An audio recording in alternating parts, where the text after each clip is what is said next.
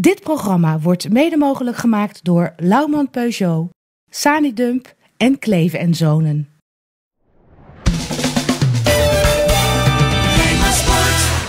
Goeiedag. Straks de nieuwe assistent-trainer van Feyenoord, Zelko Petrovic. Maar we beginnen met Excelsior. Daar waar Feyenoord en Sparta nog aan het nieuwe seizoen officieel moeten beginnen, is Excelsior toch al ver weg. Want de Kralingen speelden afgelopen vrijdag al de derde oefenwedstrijd in de voorbereiding. Dat gebeurde in België, uit bij Racing Genk. Na CKC en Antwerp stond Excelsior vrijdag tegenover Racing Genk. Dat afgelopen seizoen nog in de Champions League uitkwam. En dat was te merken, want Excelsior werd weggeblazen.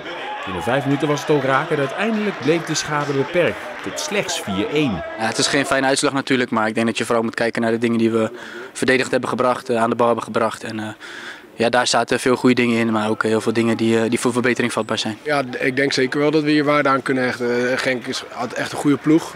ik denk een maatje groter dan en een tempootje hoger dan Antwerpen van, uh, van, van, vorige week. Dus daar hadden we het moeilijk mee. En, uh, en ik denk dat dat ook niet zo heel raar is, want ze zijn gewoon een, een van de topploegen van België. Maar dat legt wel mooi uh, de vinger op de, op de zere plek bij ons. Die zere plek was vorig seizoen al bekend. De verdediging. Onder Monies en Dijkhuizen kregen de Kralingers in het niet afgemaakte seizoen 55 tegengoals. Nou ja, het is heel duidelijk dat, dat, is voor niemand of verdedigen moet het veel beter. Heel team. Dus daar hebben we tot nu toe eigenlijk heel de voorbereiding nadruk op gelegd. En komende week ook nog. Onbewust, ja, wij moeten gewoon minimaal een derde minder goals tegen krijgen. Ik vind wel dat we wel een stuk compacter staan. Met name vorige week. Deze week uh, ja, was de kwaliteit wat meer. Maar de tegenstander die er toch redelijk makkelijk doorheen speelt. Nou ja, dat is ook een mooie, mooie test. Dus uh, ja, ik verwacht uiteindelijk wel dat we sterker zijn dan voor vorig seizoen. Ja.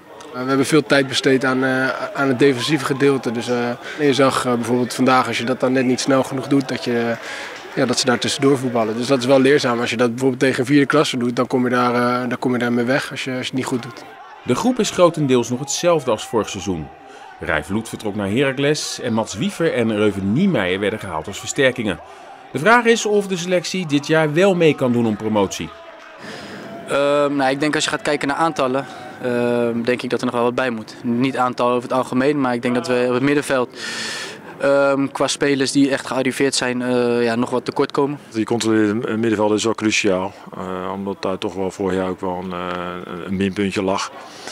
Ja, dan, dan kijken we of we nog budget hebben. En dan is er eventueel een wens om of een buitenspeler of een, uh, een nog aan te trekken. Of liefst nog allebei. Maar ja, uh, bij ons heeft ook een klein beetje de corona toegeslagen. Dus of dat lukt weet ik niet.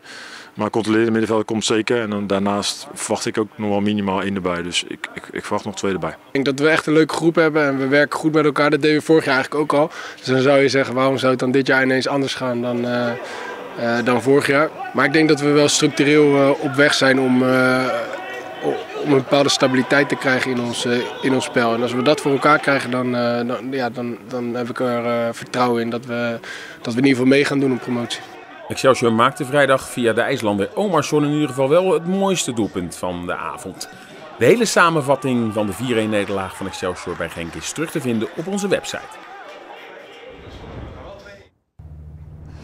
Feyenoord begint volgende week aan het seizoen met de nieuwe assistenttrainer Zelko Petrovic, de rechterhand van Dick Advocaat. Het is niet de eerste keer dat hij assistenttrainer is in de Kuip, want in 2005 was hij de rechterhand van Ruud Gullit.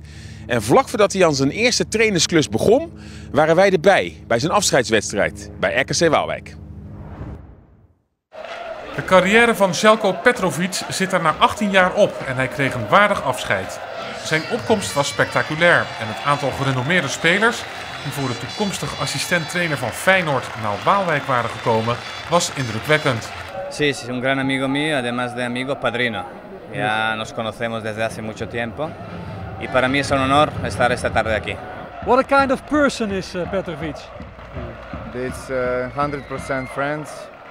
He always stay inside in the family and I think this is great family man and good good friends.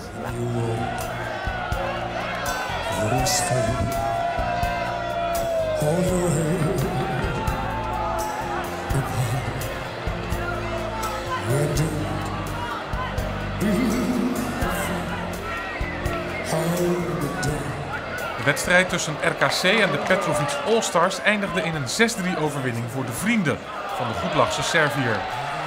Bij beide teams speelde hij één helft mee en vijf minuten voor het eind van de wedstrijd werd senior gewisseld voor junior.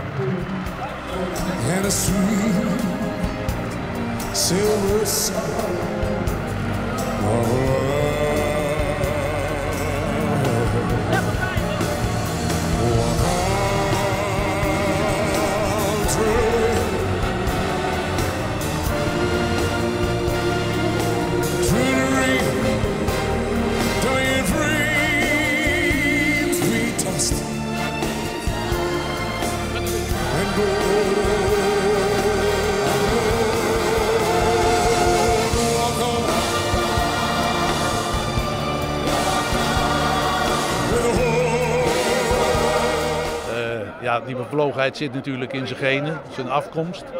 En uh, ja, technisch vaardig, uh, heel veel kijk op het, uh, op het spelletje. En dat zie je zelfs met zijn 38 jaar, dat hij, en dat zie je ook nog aan andere voetballers die hier lopen, dat verleer je nooit als je een hele echte bent. En hij is een hele echte.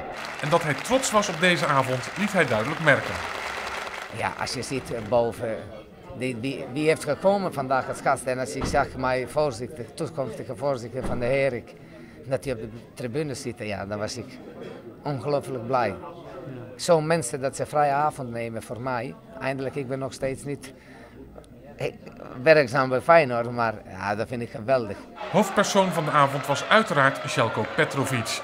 Maar het sportieve hoogtepunt van de avond kwam van zijn Kroatische vriend Davor Suker.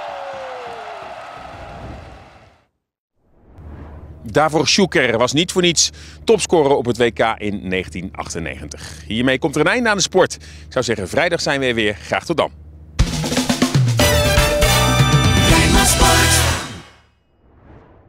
Dit programma werd mede mogelijk gemaakt door Lauwman Peugeot, Sanidump en Kleven en Zonen.